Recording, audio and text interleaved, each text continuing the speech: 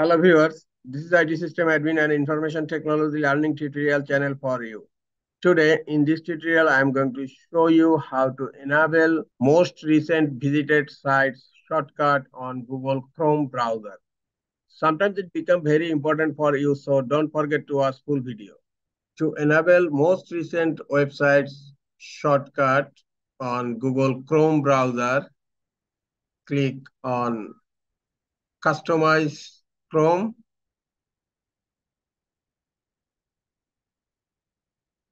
Now scroll down. Look, here you will find my shortcuts. Shortcuts are curated by you and most visited sites. Shortcuts are suggested based on website you visit often. Now click on this option Look, your most visited website shortcut is showing right now.